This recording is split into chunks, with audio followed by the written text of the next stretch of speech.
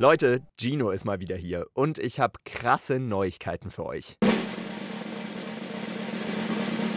Die Bayerische Staatsoper spielt wieder vor Publikum. Ja, ihr habt ganz richtig gehört. Über ein halbes Jahr lang war sie zu. Jetzt sind die Infektionszahlen in München gesunken und die Oper dürfte wieder für uns öffnen. Hammer, oder? Bald könnt ihr auch wieder eine Premiere im Theatersessel erleben, und zwar William Shakespeares Lear. Und ich glaube, wir alle müssen uns erstmal wieder an diese Situation gewöhnen, live in der Oper zu sein. Wahrscheinlich werde ich vollkommen überwältigt sein. Vielleicht fange ich sogar an zu weinen. Es kann alles passieren. Auf jeden Fall will ich, dass wir alle gut gewappnet in die Vorstellung starten, damit ihr zum Beispiel auch ein paar Insider-Infos fürs Pausengespräch habt. Dafür rufe ich gleich wieder in der Oper an und hole mir jemanden von der Produktion ans Telefon. Aber zuerst checken wir, wie immer in diesem Podcast, erstmal die Story von der Oper.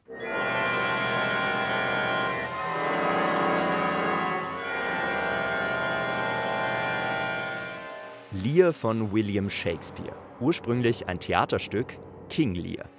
Und dieser Lear ist auch die Hauptfigur. Ein alter König mit einem großen Königreich. Das will er jetzt unter seinen drei Töchtern aufteilen. Goneril, Regan und Cordelia. Wer von den dreien ihn am meisten liebt, kriegt das größte Stück vom Kuchen ab, also vom Königreich. Cordelia, die jüngste Tochter von Lear, kann ihre Liebe zum Papa aber nicht so gut beschreiben und geht deswegen leer aus. Sie wird sogar verstoßen. Goneril und Regan teilen sich das Reich also untereinander auf, kriegen sich aber richtig in die Haare, was Lear das Herz bricht und ihn schließlich in den Wahnsinn treibt. Wie das auf der Opernbühne aussieht und vor allem wie es klingt, will ich jetzt rausfinden. Und alle von euch, die schon länger bei diesem Podcast dabei sind, wissen, was jetzt kommt. Wir klingeln bei dem Opernpförtner unseres Vertrauens durch, Toni Fuchs. Er stellt uns nämlich an die Leute durch, die die Oper auf die Beine stellen. Bayerische Staatsoper Fuchs, guten Tag. Ja, servus Toni, hier ist der Gino mal wieder. Ja, Gino, hallo, schön von dir zu hören. Danke, gleichfalls, gleichfalls. Du, ich habe gehört, ihr spielt wieder vor Publikum. Das ist ja ein ziemliches Highlight. Wie ist die Stimmung so im Haus? Wir sind alle mit, mit voller Kraft dabei und freuen uns, dass es Step by Step vielleicht mehr Zuschauer geben wird, bis in die Festspiele rein. Und ja, darauf arbeiten wir alle hin und sind alle guter Dinge und überglücklich, dass wir wieder Zuschauer haben. Das bin ich auch. Ich freue mich auch schon richtig auf den Lier.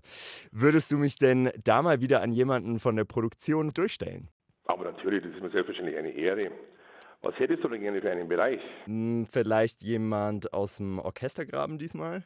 Gut, da würde ich sagen, versuchen wir mal den Felix Miltenberger zu erreichen. Mhm. Das ist der Assistent vom Dirigenten, der bei uns den Lier dirigiert. Ja, super. Toni, du weißt genau, was ich brauche. Dann äh, sage ich danke und bin mal gespannt, ob er rangeht. Assistent vom Dirigenten. Was macht man da eigentlich so? Weil dirigieren wird die Oper am Ende ja der Dirigent selbst, oder? Das ist beim Lier übrigens der Finne Jukka-Pekka Saraste. Vielleicht teilen die sich die Oper ja irgendwie auch auf. Die erste Hälfte du, die zweite Hälfte ich. Ich habe auf jeden Fall sehr viele Fragen. Hallo? Ist da der Gino? Ja, genau. Hi Felix. Hi Gino. Schön, dass du rangehst. Es freut mich sehr. Ich starte jetzt einfach mal direkt ins Blaue hinein mit einer totalen Basic-Frage. Du bist Dirigentenassistent was heißt es denn genau? Du musst jetzt nicht dem Dirigenten dauernd Kaffee holen, würde ich mal vermuten. nein, nein, wir gehen tatsächlich gemeinsam Kaffee trinken, gegebenenfalls dann in der Pause. Okay. Aber ansonsten habe ich durchaus musikalische und organisatorische Aufgaben. Ich dirigiere selbst Proben für ihn, wenn er nicht da sein kann aus verschiedenen Gründen oder wenn er gerade mit dem Orchester probt, leite ich parallel die szenischen Proben mit Klavier und den Sängern. Wenn er selbst äh, dirigiert, bin ich im Saal und äh, gebe ein zweites Paar Ohren, um auf die Balance zu achten, ob man die Sänger auch überall gut hört und einfach, was mir sonst äh, so auffällt. Ich bin aber auch dafür verantwortlich, die Probenpläne mitzugestalten und weiterzugeben, frühzeitig zu planen, wer wann gebraucht wird, wie man am nächsten Tag weiterprobt und solche Sachen. Also vermittle auch so ein bisschen zwischen dem sehr beschäftigten Maestro und äh, all denjenigen, die dann aber auf diese Informationen angewiesen sind. Kommen wir mal zur Musik jetzt vom Lier, von der Produktion, an der du gerade mitarbeitest. Was macht die Musik vom Lier für dich so spannend? Was es besonders macht, ist wahrscheinlich die pure Kraft und beinahe Brutalität, mit der die Musik die ja durchaus brutale Handlung dieses Werks von Shakespeare unterstreicht und unterstützt. Es gibt Stellen, die sind so laut und so dissonant, dass es beinahe wehtut beim Zuhören.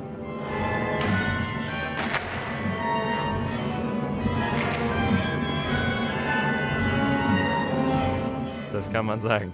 Sprichst du da auch von den sogenannten Clustern? Ich habe da noch nicht so ganz äh, einen Einblick bekommen, was diese Cluster, die der Aribert Reimann da komponiert hat, sind. Kannst du das äh, mir vielleicht erklären?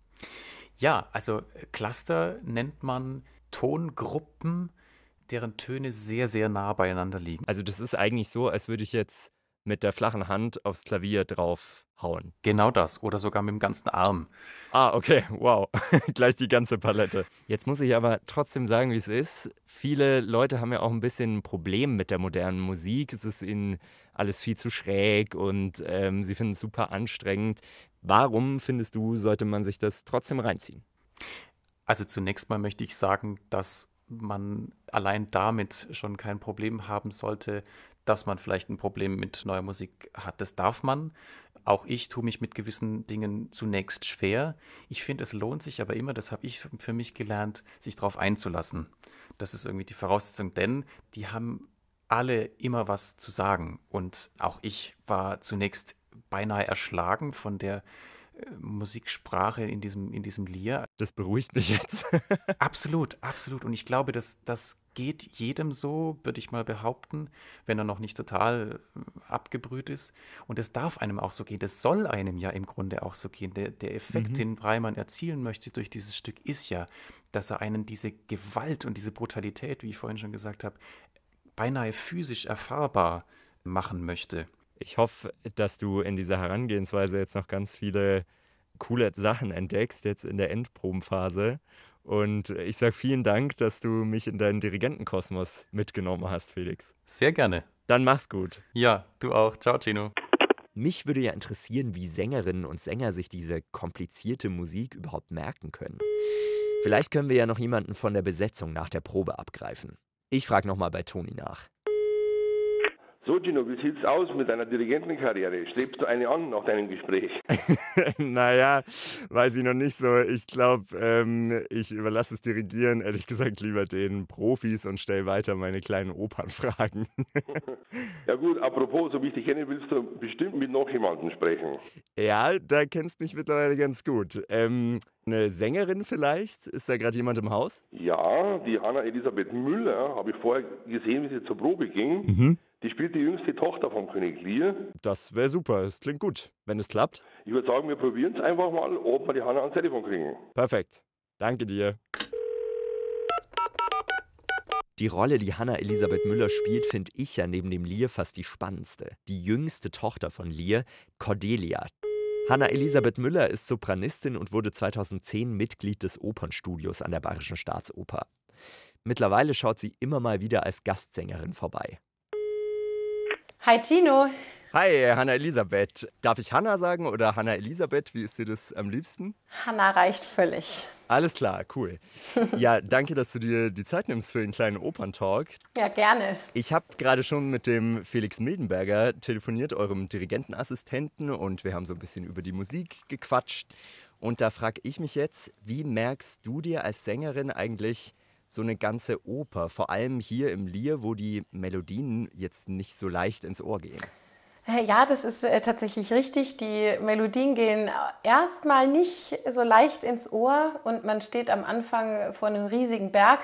Aber das erarbeitet man sich Stück für Stück wie jede andere Opernpartie eigentlich auch. Es ist halt am Anfang sehr viel ungewohnter für uns alle. Und wie gehst du dann ran? Also ich meine, Sängerinnen und Sänger sitzen ja auch manchmal daheim am Klavier, spielen sich die Partie hunderttausendmal vor. Ja, hier habe ich zuerst mal mit dem Lesestoff begonnen und habe erst mal Lear, King Lear gelesen. Und äh, dann habe ich mir angefangen, die Noten anzuschauen, habe sie auch erst mal wieder zugemacht, um sie dann wieder aufzumachen, weil ich gedacht habe, oh oh. Und dann, äh, ja, dann habe ich angefangen, tatsächlich metrisch erstmal an das Ganze zu gehen, zu schauen, wo sind die Taktschläge, irgendein Gerüst sich irgendwie aufzumalen sozusagen, zu schauen, Gibt es irgendwelche Eckpunkte, die völlig schlüssig sind? Also es dauert ein bisschen länger, bis man da so ein Gerüst zusammen hat und dann habe ich angefangen, Noten dazu zu nehmen und da habe ich tatsächlich immer wieder Stunden am Klavier gesessen, weil es eben nicht eingängige Melodien sind.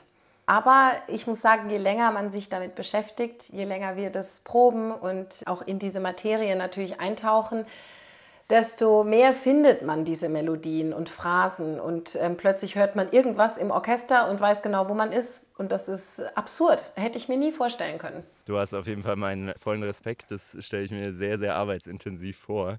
Jetzt ist ja das Coole an dem Lier, an der Oper, dass sie auch an der Bayerischen Staatsoper uraufgeführt wurde, damals 1978. Wie fühlt sich das für dich an, auf derselben Bühne dasselbe Stück zu singen? Ja, das ist total schön, das Gefühl. Es ist ein, äh, so ein Epos, natürlich dieses Werk. Das ist äh, die bekannteste zeitgenössische Oper, glaube ich. Und wird immer wieder mhm. überall doch gespielt. Und es gibt bestimmt mittlerweile auch Zuhörer, die dieses Stück sehr, sehr gut kennen. Und das jetzt natürlich wieder auf die Uraufführungsbühne zu bringen, das ist auch eine Ehre ein bisschen. Beim Shakespeare ist natürlich sehr wichtig diese Rollenkonstellation dieser drei Schwestern. Du spielst die jüngste Schwester, also die jüngste Tochter vom Lear, die Cordelia, die sich nicht so ganz gegen ihre beiden älteren Schwestern durchsetzen kann. Und da entsteht ja dann auch dieser große Familienzoff, wo wir uns alle vielleicht auch ein bisschen reinfühlen können, wenn es mal Streit in der eigenen Familie gibt. Hast du dir da auch was aus deiner eigenen Erfahrung rübernehmen können für die Rolle, vielleicht aus der eigenen Familie? Also zum Glück nicht in diesem Ausmaß. Okay. Weil das ist ja wirklich äh, brutal. Natürlich kennt man das, wenn man irgendwie sauer ist und dann hat man überhaupt keine Lust, dann irgendwie jetzt noch mit der Schwester äh, nochmal zu reden und nochmal. Und man ist diejenige, die immer wieder den, den Schritt der Verzeihung geht. Das kennen wir ja alle. Das heißt, du hast auch eine Schwester? Ja, ich habe drei Schwestern. Ah, Oh, also noch eine äh, Spur mehr als bei Cordelia. ja, richtig. Wo bist du? Bist du die ähm, jüngste, die älteste in der Mitte? Die dritte bin ich. Ah ja, okay. Und wie war das dann zu Hause? Hast du manchmal eine drüber bekommen von der Großen oder ähm, hast du dich schon ganz gut behauptet? Ach, ich glaube, ich habe auch äh, ganz schnell gelernt, mich zu behaupten. Und mhm. ich finde das wirklich ist super. Ich bin in einem super glücklichen Zustand, dass ich drei Schwestern habe. Also vier Mädels ist eine gute Sache. Schön. Ich finde, das äh, passt irgendwie ganz gut zu dieser Rolle, zu der Cordelia, die zwar die jüngste ist, aber sie steht zwischen diesen Schwestern und du stehst ja auch zwischen deinen Schwestern. Ja. Die Cordelia steht auch zwischen den Stühlen. Was findest du besonders tricky an dieser Rolle? Wenn man an das äh, Shakespeare-Werk geht, mhm ist das Herausfordernde, gar nicht so viel zu machen. Als jüngstes Familienmitglied hat sie doch eine sehr feste, überzeugende Meinung. Und sie ist da sehr äh, bei sich und weiß genau, was sie antworten soll, auch auf, diese, auf, auf dieses Liebeszeugnis, was sie abgeben soll. Sie bleibt da dabei und ist ganz ruhig. Und das ist auch in dieser Oper am wichtigsten fast für die Cordelia, dass sie gar nicht versucht, sich auf diese Art der Schwestern einzulassen. Mhm. Dass das gar nicht, das färbt auf sie überhaupt nicht ab. Die sind ja musikalisch auch noch viel extrovertierter. Die sind ja, ähm, also das ist so wahnsinnig schwer, was die machen müssen. Also das ist fast Stimmakrobatik, muss ich sagen.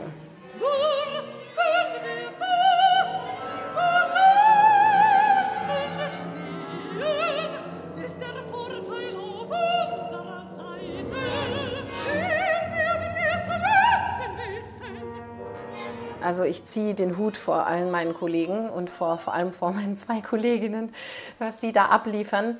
Die Cordelia hat eine ganz andere äh, Stimmführung. Also ich könnte mir jetzt vorstellen, dass sie sehr gesettelt, sehr geerdet vielleicht klingt. Ähm, hast du da ein Beispiel aus der Oper?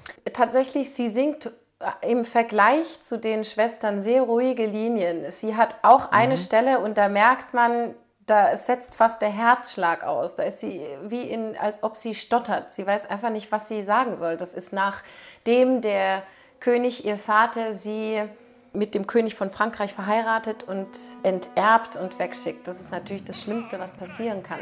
Er sagt, dein Blut ist nicht das meine.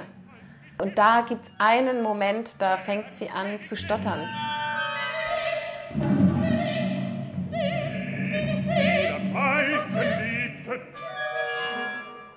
Wird verstoßen. Die Sorge, die. Ihre Schwestern sind im Vergleich dazu hysterisch. Die ereifern sich immer mehr, schaukeln sich gegenseitig hoch, stecken sich an. Das geht immer weiter. Die geben sich gegenseitig Feuer. Klar, es geht ja auch um was. Die Cordelia ist eigentlich die einzige, die den Vater wirklich wahrhaftig liebt und Achtung, Spoiler, dann ja auch am Ende stirbt, genauso wie Lear. Aber das war ja nicht immer so. Also ich habe gelesen, im 18. Jahrhundert wurde Shakespeares King Lear, also die Theatervorlage, auch mal mit einem Happy End aufgeführt. Wäre dir das denn lieber gewesen, anstatt zu sterben? Hm.